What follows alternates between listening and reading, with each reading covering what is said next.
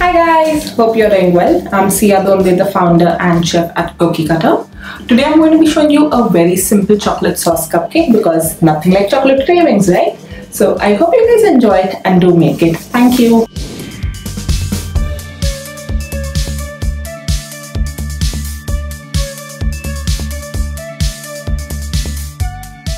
Let's get started. I'm going to be starting by mixing the flour, cocoa powder and baking soda and then I'm going to mix the lemon juice with the milk and let it sit for about 5 minutes. While that is happening, I'm going to be preheating my oven and prepping the tray. Then I'm going to stir in the milk into my dry ingredients and just mix it lightly and then go in with the oil and the sugar. If you have granulated sugar, I recommend powdering the granulated sugar first. Again, mix it till it combines well and then we go in with the water. Now I have also kept a bit of extra water on the side um, to adjust the consistency if required but I did not need to do that. The amount mentioned works perfectly fine. And then I'm just going to pour out the batter into 6 molds. Now this recipe makes exactly 6 so in case you want to make a cake you might have to double the recipe to make a small cake.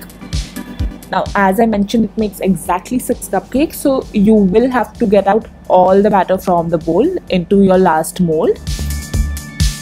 And then we are going to be baking it at 180 degrees for about 15 to 20 minutes.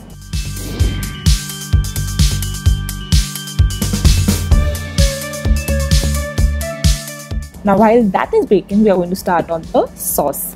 Now the sauce is very simple. You just need to warm up the milk and water together and then mix the sugar and cocoa powder in it till it dissolves. Now again, please powder the sugar if you have granulated sugar.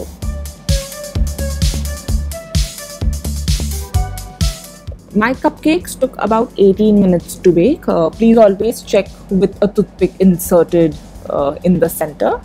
Uh, demold it about after 7 to 10 minutes. Uh, I'm demolding them when they are slightly warm because I want to assemble them when they are warm. Uh, but please don't demold when they are very hot. They are going to break apart. Now I'm just going to do a small insertion or just take out a small uh, part from the top and pour about 2 teaspoons of the sauce in it. Now please feel free to pour more if you'd like. I am pouring 2 because I'm happy with how fudgy they get with those 2 teaspoons in it and this is the reason why we are doing it while it's warm so that the cupcake can soak in the sauce. And then we are just going to drizzle about 3 teaspoons on top. Again you can drizzle as much as you like. I keep some sauce for later for when I'm going to be serving the cupcakes. And then just dust it with icing sugar and eat it. Thank you.